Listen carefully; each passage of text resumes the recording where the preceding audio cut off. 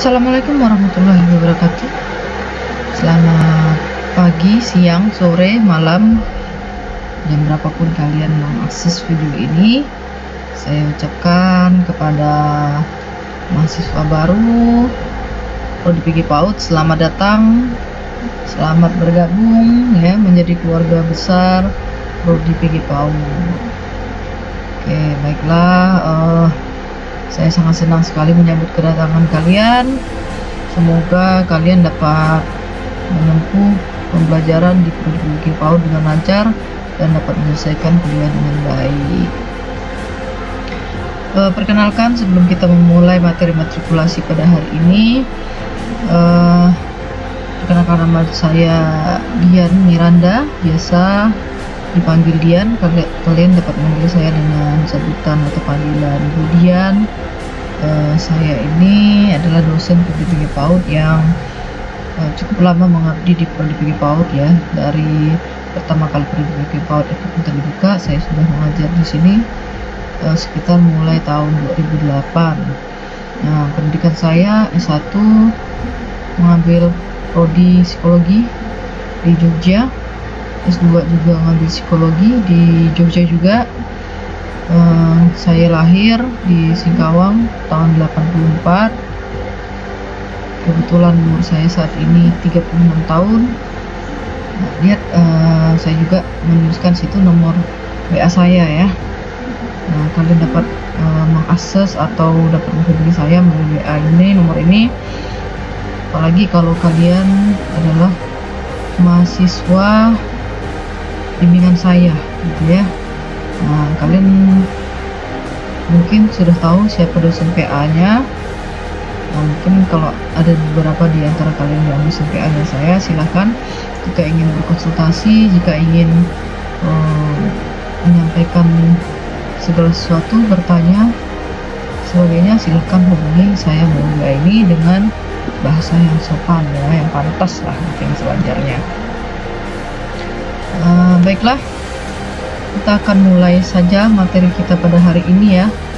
Uh, karena kita tidak bisa bertatap muka langsung maka dibuatlah video ini khusus untuk menyambut kedatangan kalian dan menyampaikan materi matrikulasi yaitu materi yang saya sampaikan adalah strategi belajar online. Kenapa strategi belajar online? Ya karena uh, di masa pandemi ini mau tidak mau ya kita harus belajar secara online. Jadi kita belum bisa bertatap muka tapi mudah-mudahan jika pandemi ini sudah berakhir kita bisa langsung bertatap muka gitu ya. Nah tapi untuk awal-awal ini hmm, kita terpaksa lah harus melakukan pembelajaran online termasuk matrikulasi pada hari ini Baiklah, kita langsung saja ya. Saya tidak akan membahas terlalu banyak karena semuanya nanti kalian akan mengalaminya sendiri gitu ya. Hambatan apa yang akan kalian hadapi ketika kalian belajar online. Itu saya hanya akan menyampaikan beberapa gambaran dan beberapa yang beberapa hal yang harus kalian persiapkan dalam menghadapi pembelajaran online. Baiklah, yang pertama uh, kita ketika kalian menghadapi kuliah online, kuliah bebas baik itu daring maupun luring gitu ya. Nah, ada tiga hal yang harus kalian persiapkan, yaitu yang pertama mental, yang kedua fasilitas terkait dengan pembelajaran online, kemudian yang ketiga adalah keterampilan yang terkait dengan pembelajaran online. Kita akan mulai dari mental, gitu ya. Mental yang seperti apa yang harus kalian siapkan untuk menghadapi pembelajaran online ini gitu ya. Nah, uh, saya sedikit gambarkan bahwa kalian tidak dalam pembelajaran online kalian tidak akan ketemu uh, satu sama lain, terutama dosen gitu ya. Mungkin kalau teman ada yang satu kampung masih bisa ketemu ya. Nah, tapi kalau dosen untuk sementara waktu ini karena pembelajarannya online mungkin kalian akan sulit untuk bertemu dosen kalian gitu ya. Nah, ini mental yang pertama ketika menghadapi kuliah online ini kuliah berbasis online ini karena kalian tidak bertatap muka langsung dengan kita menggunakan sarana gitu ya yang pertama kalian harus mempersiapkan semangat semangat kalian gitu ya untuk belajar. Nah kalian harus dapat memompa semangat kalian sendiri untuk tetap fokus dan mengikuti kuliah ya. Walaupun akan terdapat banyak hambatan dalam uh, menjalani perkuliahan gitu kalian akan mendapatkan uh, mungkin sedikit sekali penjelasan dari dosen, tapi bukan tidak mungkin kalian bertanya kepada dosen yang bersangkutan apabila kalian tidak paham, gitu ya. Nah, eh, hambatan ini mungkin akan kalian dapatkan ya ketika kalian kuliah online, misalnya eh, materinya apa sih, ini tentang apa dan bagaimana nih caranya untuk memahaminya. Nah, eh, atau misalnya ketika kalian sedang fokus untuk belajar kuota habis sehingga semangat kalian pun menjadi habis juga sesuai dengan habisnya kuota gitu ya. Nah tapi saya harap kalian tidak seperti itu. Makanya uh, hal pertama yang harus kalian siapkan adalah semangat gitu jadi diusahakan kalian harus selalu semangat dalam uh, belajar online ini bagaimanapun caranya kalian usahakan untuk dapat mengubah semangat kalian sendiri. Nah, caranya bagaimana? Bisa jadi dengan cara belajar sendiri bagi beberapa tipe orang yang senang belajar sendiri, tapi bisa juga dengan belajar berkelompok. Dengan belajar berkelompok, jika kita merasa uh, lemas, malas gitu ya, ketika melihat teman-teman semangat, kita pun bisa jadi ikut semangat. Nah, jadi belajar itulah manfaatnya belajar kelompok ya. Jadi diusahakan kalian itu membuat kelompok-kelompok untuk belajar. Misalnya membuat grup WA di kelas kalian masing-masing. Nah seperti itu. Oke baik ya. Jadi uh, sebenarnya banyak manfaatnya ketika kalian belajar kelompok ya. Nah jadi diusahakan ya untuk membuat grup nanti grup WA baik itu kelompok kecil maupun kelompok besar atau kelompok dalam kelas oke okay? kalau memang kalian uh, perlu melibatkan dosen tertentu silahkan kalian masukkan dosen tertentu ke dalam grup kalian nah uh, persiapan mental yang kedua yang harus kalian siapkan itu dalam belajar online adalah menerima dengan ikhlas ini sangat penting nih ketika kita menghadapi pembelajaran online kita harus mampu menerima dengan ikhlas gitu ya keadaan seperti saat ini. Jadi keadaan saat ini memang tidak bisa memaksa kita untuk bertetap muka ya karena banyak hal lah ya. Peraturan pemerintah gitu menjaga kesehatan dan sebagainya menjaga keselamatan gitu ya. Maka itu tidak dapat kita rubah. nah, karena tidak dapat kita rubah yang bisa kita lakukan adalah menerima. Nah, oleh sebab itu kalau namanya kita menerima ya udah gitu ya. Kita harus menghadapinya dengan senyum kemudian tidak mengeluh. Kalau bilang oh saya terima kok tapi ngeluh terus panjang waktu. Nah itu artinya bukan menerima tapi menolak. Kalau kita menolak materi yang akan disampaikan atau pembelajaran yang akan kita terima itu akan sulit masuk ya makanya eh, sikap mental yang kedua yang harus kalian siapkan itu adalah ikhlas menerima keadaan agar materi pelajaran yang akan kalian pelajari di pembelajaran online kalian dapat menerimanya dengan baik. Nah, berikutnya sikap mental yang uh, ketiga yang harus kalian persiapkan adalah terbuka ya. Karena ini adalah sesuatu yang mungkin baru bagi kalian sendiri maupun bagi dosen, bagi siapa saja gitu ya. Sesuatu hal yang uh, belum familiar, belum terbiasa, maka kita perlu sikap terbuka dalam menerima perubahan. Nah, perubahan ini memang memerlukan keterbukaan, gitu ya, lapang hati, lapang dada dalam menerima perubahan. Nah, sikap terbuka ini ya kita di apa? E, terbuka ini kita harus bersedia menggunakan Eh, aplikasi-aplikasi uh, yang diperlukan misalnya ya. Bersikap terbuka ini bersedia untuk mempelajari sesuatu yang diperlukan atau dibutuhkan dalam pembelajaran online. Ya misalnya menggunakan aplikasi belajar online yang digunakan atau termasuklah menyediakan keperluan-keperluan belajar online gitu ya. Nah ada banyak keperluan belajar online nanti dibahas setelah uh, persiapan yang berikutnya gitu ya fasilitas. Nah. Oke okay, ya. Jadi inilah uh, sikap terbuka yang diperlukan ketika kita menghadapi belajar online ya agar kita itu dapat belajar online dengan lancar. Berikutnya sifat mental yang keempat atau yang terakhir itu adalah usaha ya. Selain terbuka kita juga harus berusaha. Berusaha untuk uh, memenuhi segala kebutuhan yang dibutuhkan ketika belajar online. Misalnya selalu mencari tahu dan belajar menggunakan aplikasi-aplikasi yang dibutuhkan.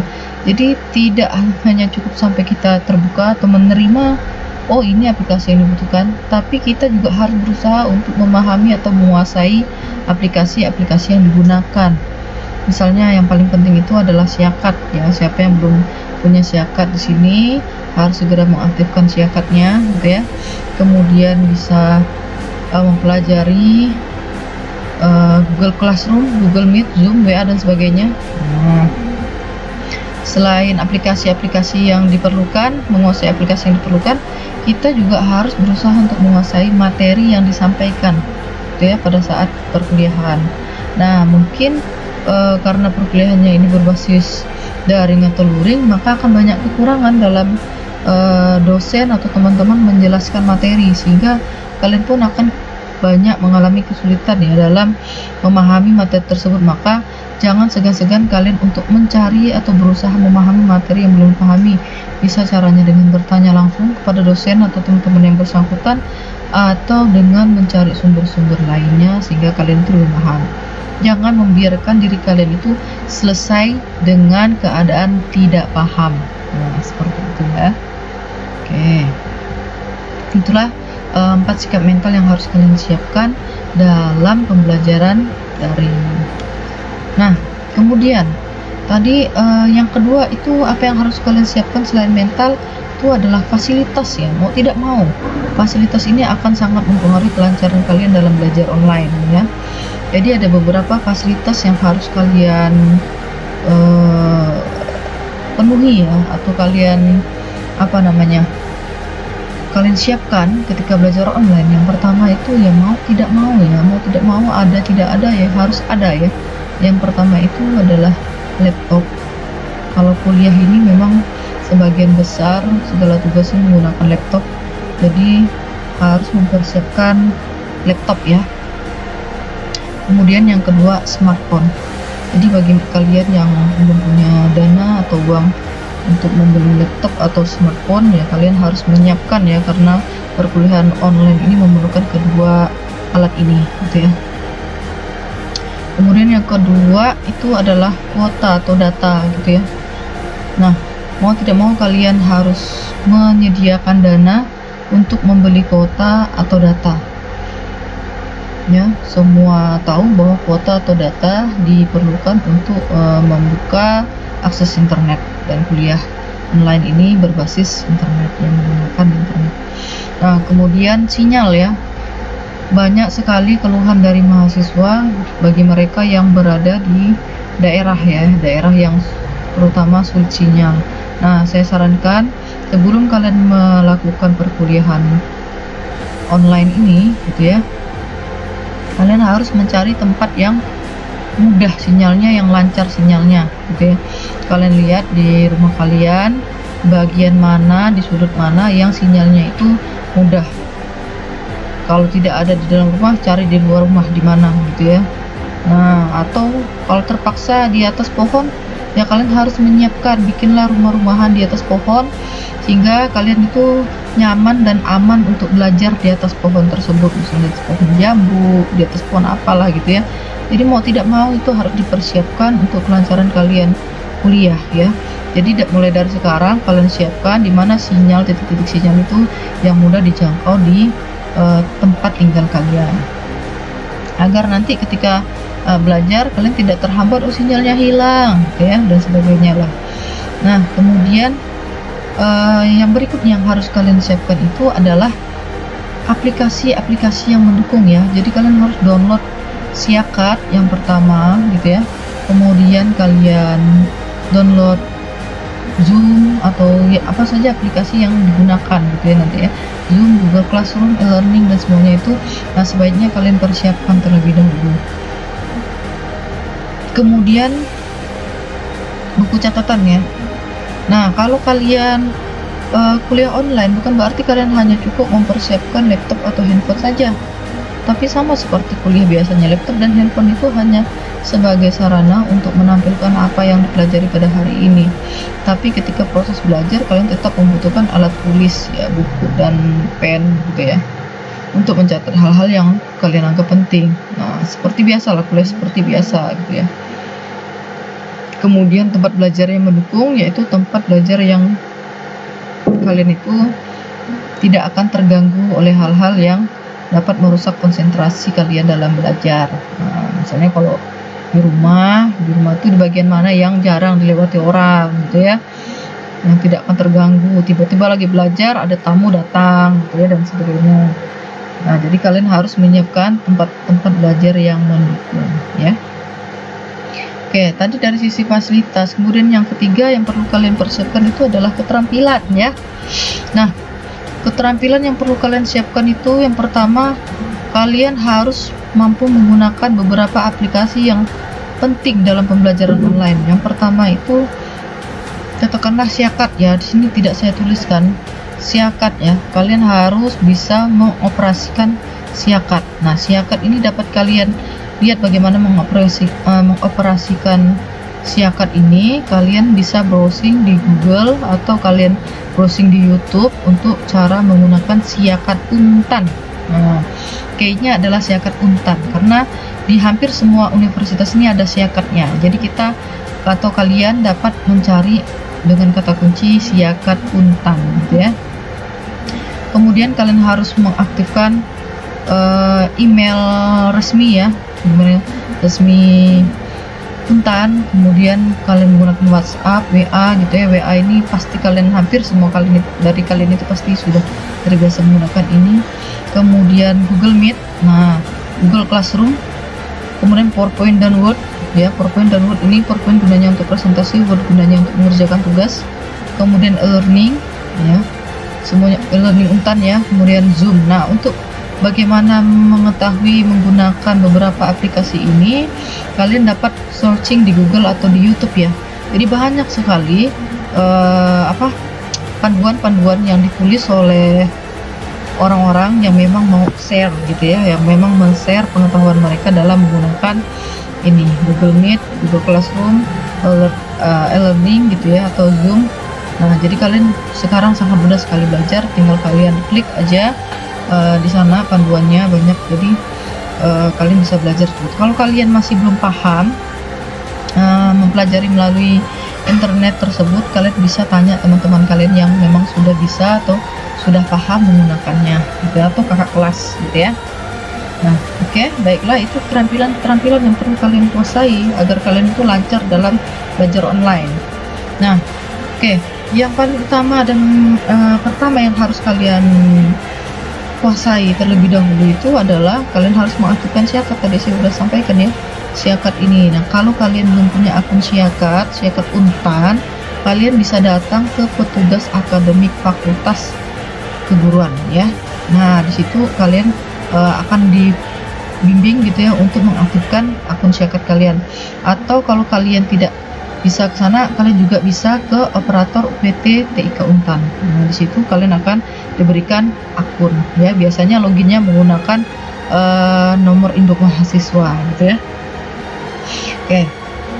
Nah, setelah kalian uh, berhasil memiliki akun syakat, hal yang kedua yang harus kalian aktifkan juga itu adalah mengaktifkan email resmi FKIP Untan. Jadi nanti ujungnya itu siapa, bla bla bla, nama kalian tuh nama emailnya at fkip.untan.ac.id. Nah, biasanya seperti itu ya.